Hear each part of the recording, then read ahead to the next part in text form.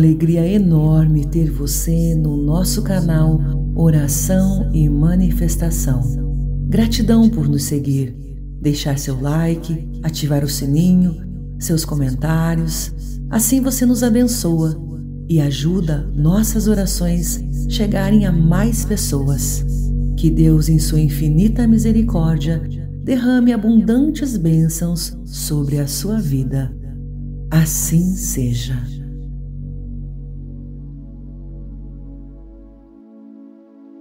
João nasceu em 24 de junho do ano de 1386, na cidade de Capistrano, perto de Áquila, no reino de Nápoles, Itália. Seu pai era um conde alemão e sua mãe uma jovem italiana. Estudou direito civil e canônico na cidade de Perúdia e formou-se com horas e méritos excepcionais. Lá, tornou-se homem de enorme influência. Em Perúdia, João de Capistrano se casou com uma jovem filha de um nobre membro da comunidade. Por causa de seu brilhantismo no direito, foi aclamado juiz da cidade. Mais tarde, tornou-se governador da cidade. No tempo em que a revolta contra o domínio do rei de Nápoles estava começando, João de Capistrano tornou-se um governador muito respeitado por todos. Por isso, julgava ter amigos verdadeiros, até mesmo entre adversários. Por acreditar nessas amizades, João de Capistrano assumiu a missão de tentar um diálogo de aproximação com o rei. Porém, ele estava muito enganado. Os adversários não acreditavam em suas propostas de paz e, além disso, o prenderam. Para piorar, estando João de Capistrano na prisão, recebeu a triste notícia que sua esposa estava morta. João tinha nessa época 39 anos.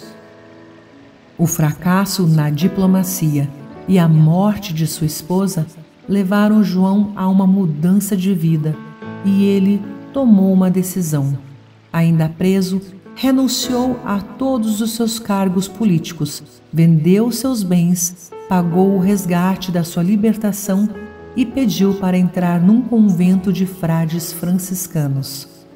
Porém, também no convento, João de Capistrano deparou-se com a desconfiança dos frades. Eles custaram a crer no seu propósito. Antes de permitir que ele passasse a usar o hábito franciscano, submeteu-o a inúmeras humilhações e dificuldades para pôr à prova a sua determinação. João de Capistrano, porém, superou tudo dando provas não só de determinação, como de verdadeira conversão e busca de Deus. Assim, após um ano depois de seu ingresso no convento, ele já era um dos religiosos mais respeitados da comunidade. Mais tarde, ele viria a colaborar para a reforma da ordem franciscana. São João de Capistrano tornou-se um franciscano exemplar. Durante 30 anos viveu na oração, praticando a penitência, jejum, a caridade e a alegria franciscana. Tornou-se um evangelizador forte e vigoroso na França, Itália, Alemanha, Hungria, Áustria, Rússia e Polônia pregador inspirado e arrebatador. Multidões viajavam para ouvi-lo. Após ouvi-lo falar, inúmeros jovens decidiam se tornar franciscanos. Por causa de sua santidade e sabedoria, tornou-se conselheiro de quatro papas. Estando já com 70 anos, São João de Capistrano liderou a defesa da Itália na conhecida Batalha de Belgrado. contra a invasão dos turcos muçulmanos. O grandioso exército estava prestes a tomar toda a Europa e já tinha dominado acima de 200 cidades. O Papa Calixto III, inspirado por Deus, designou o pregador e capelão de uma cruzada que tinha como objetivo nada menos que defender o continente europeu. O exército inimigo era dez vezes maior. Humanamente, a guerra estava praticamente perdida, os soldados quase desfalecendo. Então, apareceu São João de Capistrano no meio deles. Ele começou a animar a todos, percorria todas as fileiras, levantando o ânimo de todos, baseando-se no poder da oração e na fé em Cristo. São João fez isso continuamente, durante onze dias e onze noites, sem parar. Espantados com a força espiritual e a atitude do santo, os guerreiros muçulmanos começaram a entrar em confusão. Depois apavoraram-se e, em seguida, o exército ficou desorganizado.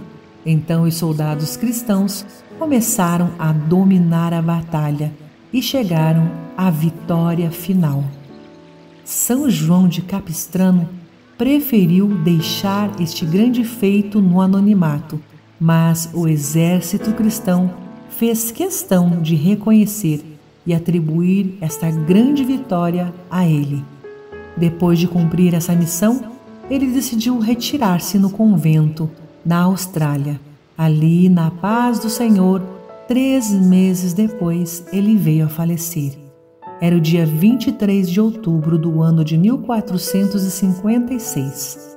A partir de então, passou a ser venerado espontaneamente como santo, e seu culto se espalhou pelo mundo e chegou forte até os dias de hoje, por sua sabedoria e exercício da justiça, especialmente como juiz, São João de Capistrano passou a ser invocado como padroeiro dos juízes.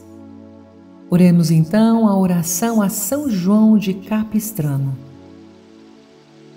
Deus, nosso Pai, a exemplo de São João de Capistrano, o nosso exemplo de fé de amor à verdade, à fraternidade, brilhe no mundo descrente, amante da mentira e do egoísmo.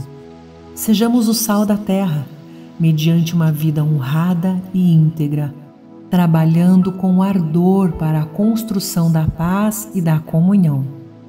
Sejamos luz para este mundo carente de valores espirituais que jaz na treva do isolamento e do individualismo. Aprendamos de Jesus, manso e humilde de coração, a ser compassivos e misericordiosos, fazendo o bem sem olhar a quem. E os homens, vendo o nosso empenho, nossa determinação, dedicação em servir, nosso esforço em compartilhar, nossa alegria de viver, nossa esperança nas adversidades, possam crer em vós, Deus de amor, que nos sustentais na vossa bondade. Que por nossa causa ninguém se afaste de vós, Deus vivo e verdadeiro, mas através de nosso exemplo possam chegar a vos conhecer e a vos amar de toda a mente e de todo o coração. Amém. São João de Capistrano, rogai por nós.